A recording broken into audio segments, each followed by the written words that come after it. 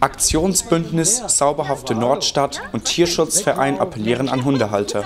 Kot der Tiere entfernen. Hundehaufen sind ein Ärgernis in den Grünanlagen am Roten Weg, nördlich der Reichenberger Straße, aber eben nicht nur dort, sondern auch in anderen Teilen der Stadt. Der Aktionsnachmittag an der Ecke Tulpenweg-Roter Weg war eingebunden in das Projekt Hin und Weg für eine sauberhafte Nordstadt.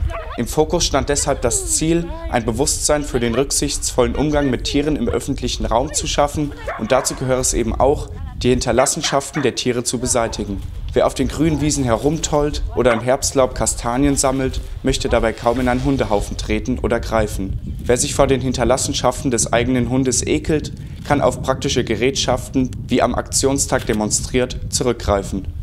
Interessant war außerdem, dass der bloße Anblick eines Haufens, der aus einem Zellulosebrei bestand und lediglich zu Schauzwecken diente, ebenso intensiv Ekelgefühle hervorrufen konnte wie ein echter Haufen. Insgesamt war die Resonanz der Besucher am Aktionstag sehr positiv